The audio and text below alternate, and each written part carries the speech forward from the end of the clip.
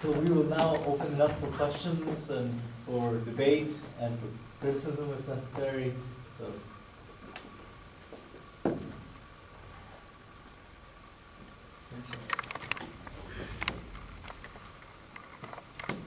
So, Yeah. Yeah.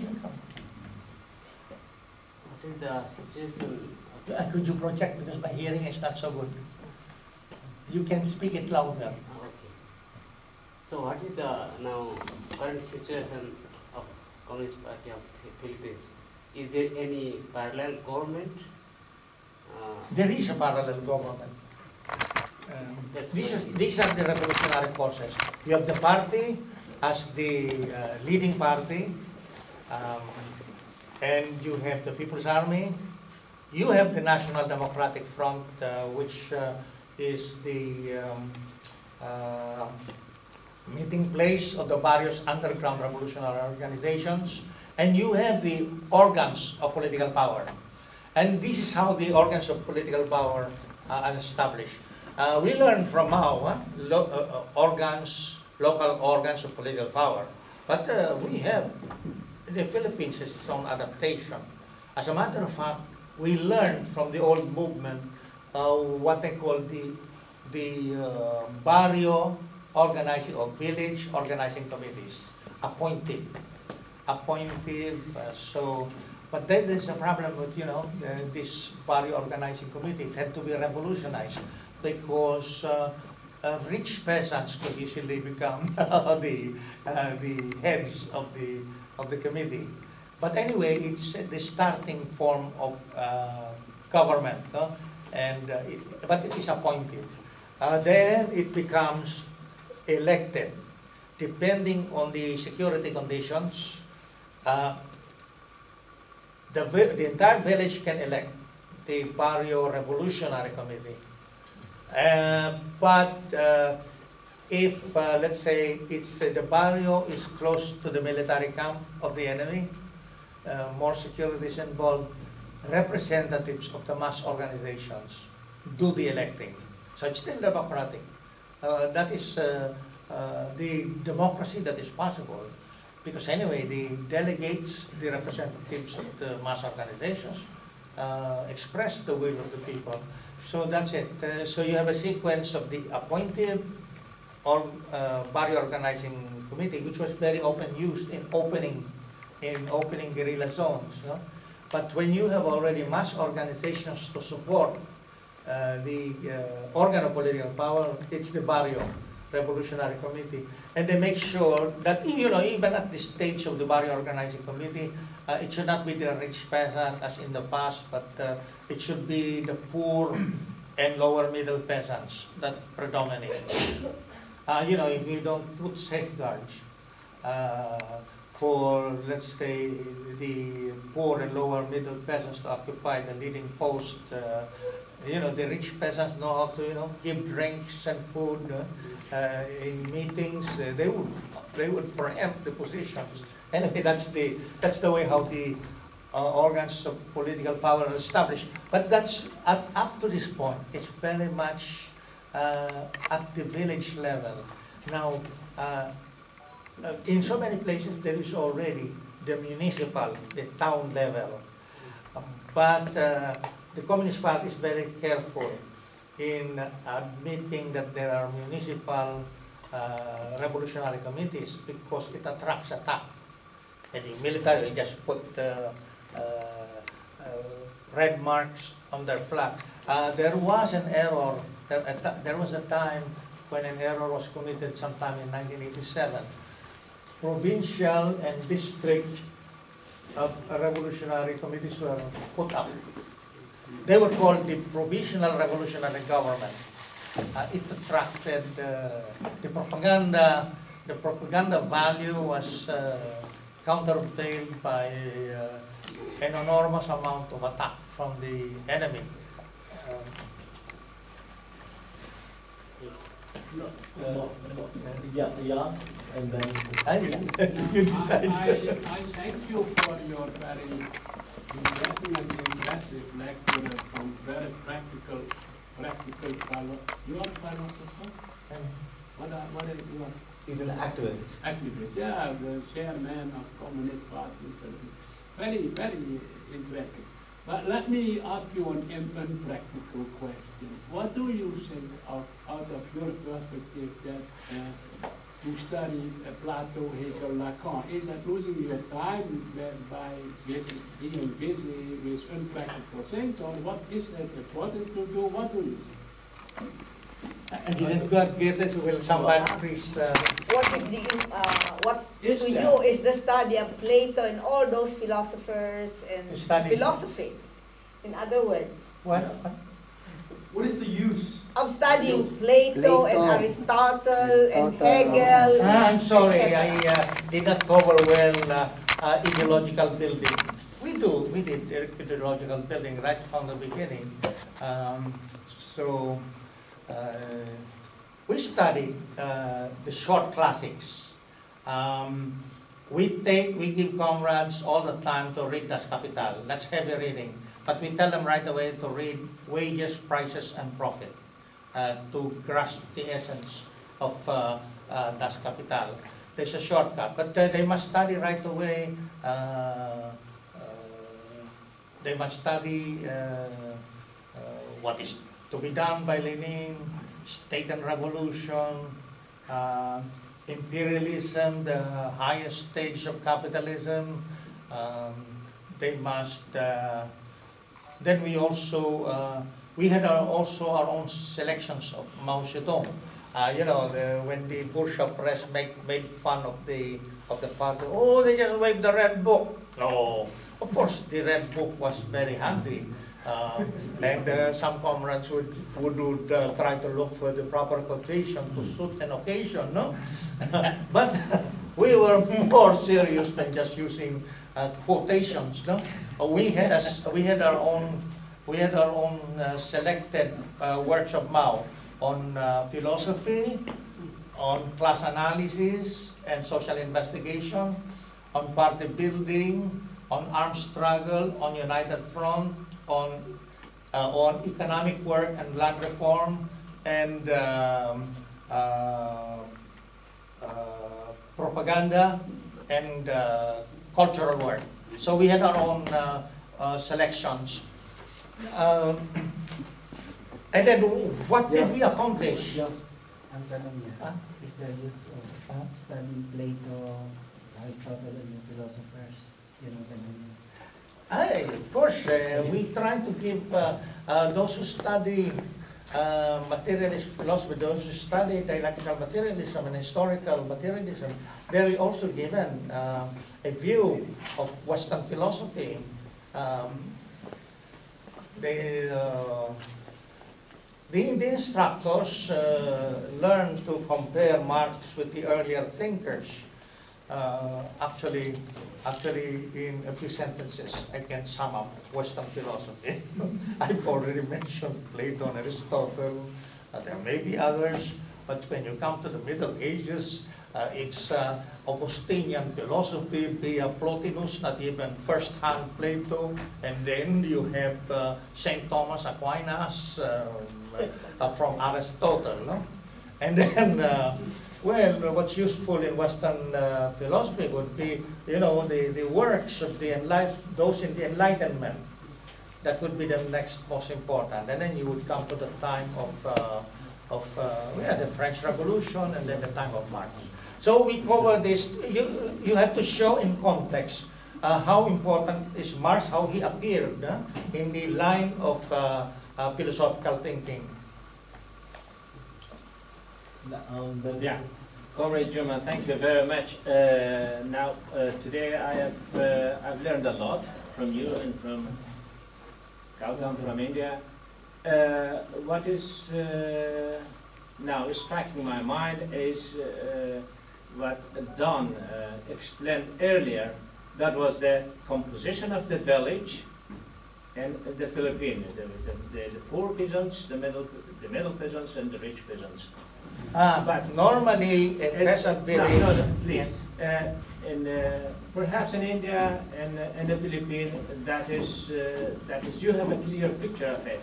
But to me, it is very important that to, to, to, to hear from you and from you that from certain countries in, the, in, in Asia, for example, Afghanistan, Iran, in the history about four or five hundred years ago, a man has come and settled in a certain valley. And then his uh, fellow king has, has come there now. That pl- place is now a village, a very big village, but everybody has a certain uh, kinship relationship with each other. And then at the top there is a, an older of the village. He is called Arbab, or he is called the, the white bird, or the man who is leading the village.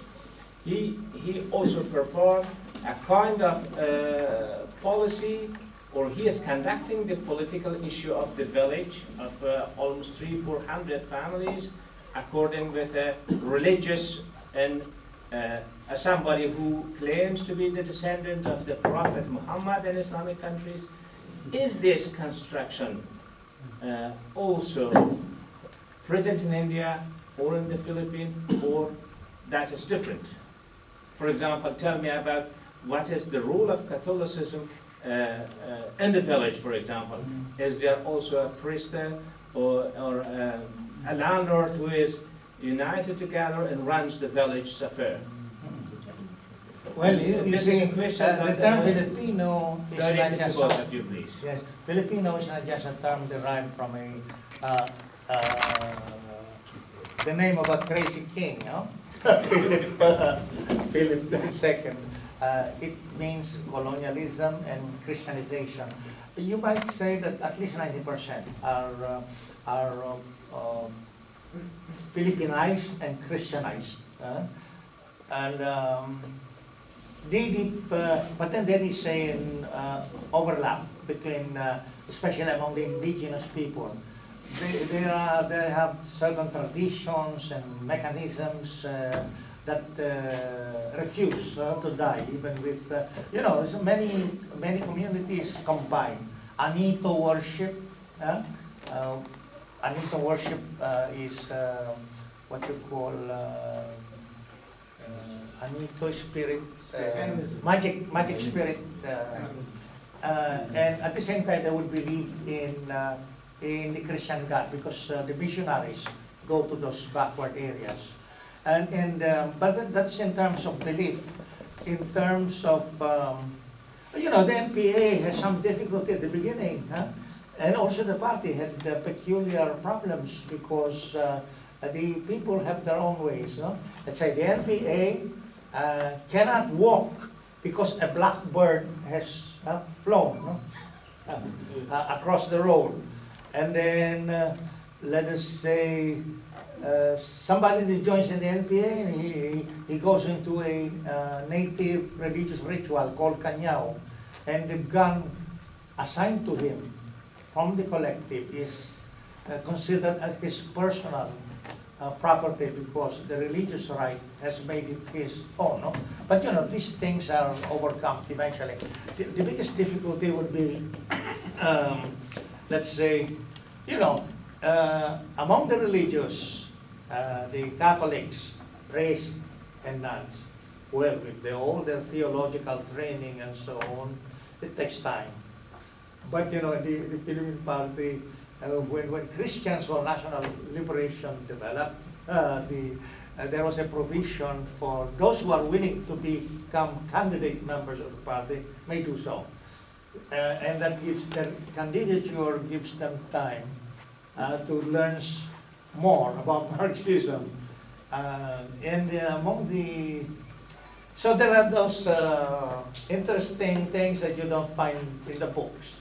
Uh, now, in terms of political uh, practices of the natives as against those who, uh, as those who belong clearly to the to the practices that belong prop, uh, to clearly to the uh, to the bureaucracy. Uh, this is how it's handled. No? For instance, there are three layers. By tradition, old men, they have their own council. They are the ruling council in the village. But at the same time, they conform to the system of village councils of the reactionary government. Then the NPA is going to create uh, an organ of political power. So you have three. Huh? Uh, it's, it's, it's uh, you know, even the bourgeois government manages the native uh, type of leadership in a village. So why can't Marxist also, uh, and if, let us say, uh, the government village council is headed by a rich peasant, but he has a united front with the revol- Revolutionary Committee. Well, when the when the reactionary officials come to visit, uh, uh, it's the it's the uh, village council of the reactionary government that would entertain. Would, uh, you get the point? But you know, the real power will already be in the hands of uh, the uh, the revolutionary uh, committee put up by by the uh, party and the NPA. With regard to the elders, they will continue to be respected. They they act as sort of consultative council. They are, their advice is sought. And on a wide scale, you know, there is a tradition that um, you know these tribal communities uh, in the past would fight each other. At the same time, they have a peacemaking mechanism. They call it the bodong. Uh, the bodong, uh, usually it's the stronger village that dictates the terms of the bodong, or a third village, a, a, a third tribal community uh, as the arbiter and arrange the peace uh, arrangement. You know, these, these people don't want to fight. Uh, they, they see the waste. so they have their mechanism, even in the primitive way. So what the New People's Army did was to introduce what they call the anti-imperialist uh, peace agreement, the anti-imperialist Bodong, especially in those areas where the imperialists have mining companies and logging companies. So the people, the, all the tribal communities uh, are mobilized against the imperialists, and uh, they are uh, they are told don't fight each other uh, because the, we have a common enemy, an enemy that destroys our uh, our forest, our uh, livelihood. No, so that's it. But in 85% of the Filipino people who have been used to, you know, the centralized system of uh, administration of the Spanish, uh, you don't have that uh, complication of three, uh, three centers of power in a village. Uh, you have only to deal with the uh, with the elected and appointed organs of power of the reactionary government. And well, in a way, that would be simple. You have two instead of three, as in the as in the higher, uh, I the upland areas. More questions? Uh, Uh, by the way, I, I just recalled, uh, you know, the Philippine Party has done a lot of political writing that uh, in the course of time have been proven to be correct, and therefore they can be elevated to the level of the theoretical. Lenin pointed out that which uh, appears to be polemical for a while, but uh, if it, it, it uh, gives so much truth, too much, so much knowledge, and it's confirmed by experience, then it goes. So we have specific characteristics of people's war. We have the guide for land reform. We have the guide for establishing the government. Those have, uh, uh, those are documents with, uh, with lasting value. Um, welcome. Sorry. You, you wrote your No, no, he, wa- he was addressing, he addressed the question both to me and uh, I said that I'll talk to him Yeah. later. uh, whether I'll I'll leave at five, five o'clock, please, if you, if you, Yeah, if you. Once this finished, number, we do that. Um, would like to ask a question? Yeah, I, I, I just wanted to point out there's one topic that you missed. It's the role of the peace negotiation in the whole, uh, in the entire, uh, within the context of the People's War. Uh, you know, peace negotiations uh, signify that the revolutionary movement has become important enough. Uh, the other side uh, would, um Marcos used to ignore, uh, you know, pleadings by, uh, by some of the uh, reactionary politicians that Marcos should negotiate with the, uh, with the revolutionary movement. But you know, that possibility Marcos always kept in reserve. Then uh, Aquino, Aquino wanted only ceasefire talks. He just wanted to silence the guns. And then uh, when peasants were, um, were uh, demonstrating in front, in front of the presidential palace, he, uh, she, she allowed the military to attack uh, the, and massacre the demonstrators. So the existing ceasefire agreement then uh, uh, broke down. And then when she was in trouble because of increased uh, threats from the military, uh, she sent a representative to me, a, a, mutual friend of mine and the husband, Beni- the late Benigno Aquino. So he was then uh, representative, yeah, was then the chairman of the uh, of the uh, uh, National Defense Committee, and we told him, no, we cannot talk in Manila or anywhere in the Philippines because it's costly. The last time there were talks uh, in the Philippines, uh, the military surveilled, no, those negotiating the ceasefire agreement. We talk abroad, no, and uh, the two sides do not have to carry weapons when they meet, no. Uh, and then uh, there is a dignification of the movement because you know the movement, the ND, as represented by the NDF, uh, um, is on an equal footing with the other side. And um, in the light of international law, you know, um, and then uh, a series of uh, foreign governments have acted as uh, facilitators. At first, Holland? Uh, then the Netherlands, uh, then uh, Bel- Belgium, and then uh, uh, Norway. Norway has been the most generous and has the uh, has been quite experienced. Is quite experienced in this uh, peace negotiations. But you know, the the uh, the eyes of the NDF are wide open. No, uh, you know, uh, it's a matter of fact that uh, these governments have their diplomatic relations. No, so you know, it's a it's one form of legal fiction that the incorporating. But uh, somehow, in in real terms, there is respect, no, for the NDF, and the NDF can make sure that it is not um, that this is not opened up to unnecessary uh, threats. Nowadays, you cannot talk uh, peace, the revolutionary in the Philippines. Uh, and, uh, you know, in this uh, period of the GPS, don't underestimate. You have even to be careful with the uh, journalists who might be, who might have some, I don't know, beepers, some, some tracers, no?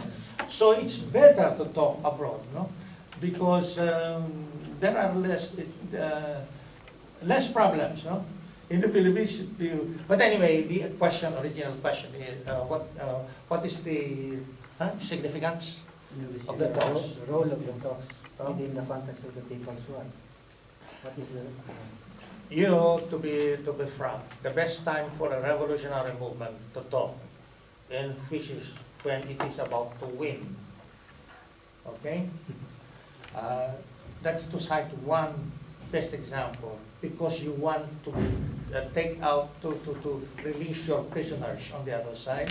Of course, you will release the prisoners from the other side, but then you will be able to, uh, to make an offensive against the enemy without fear of harming your own comrades in prison, no?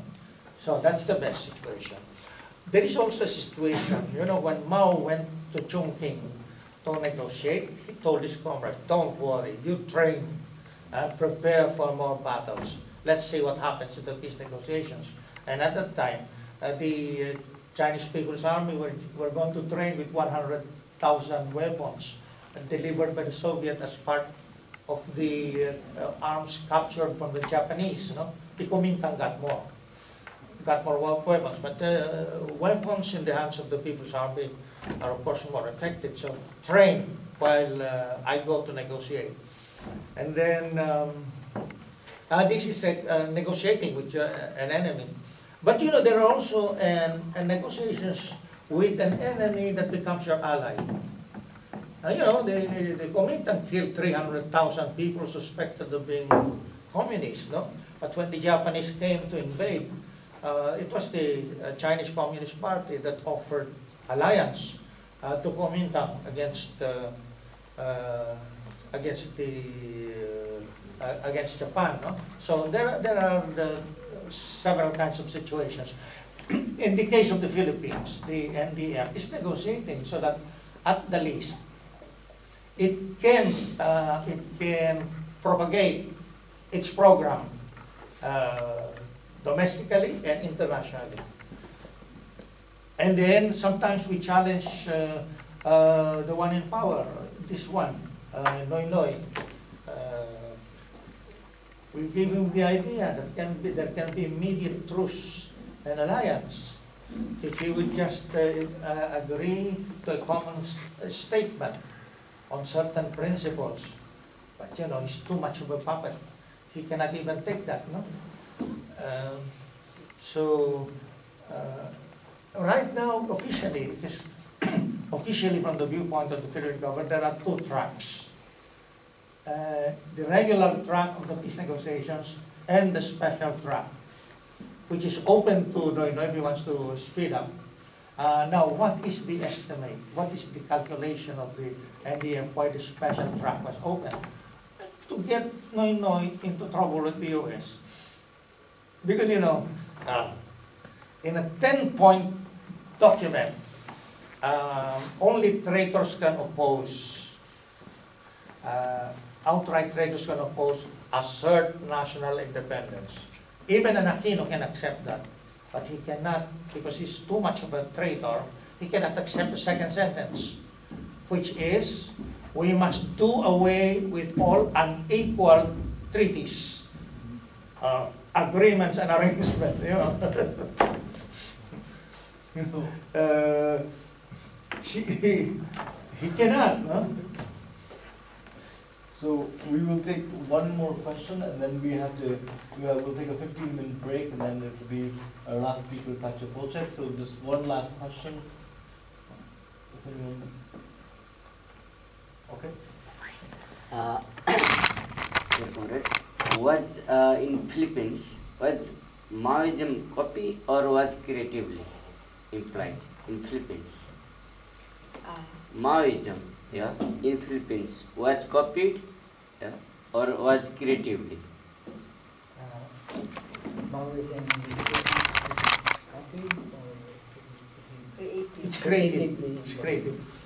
Basic principles are learned, but you know, you have to know, you have to recognize that your conditions are different. Yeah.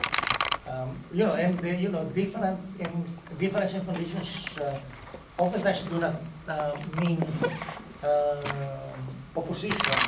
Uh, for instance, uh, surround, the, uh, encircle the countryside. I mean, encircle the cities from the countryside. That is a class content. You know? It is a peasant based. Uh, the work, the working class party leads the peasantry against the reactionaries seated in the cities. No? That is a class content.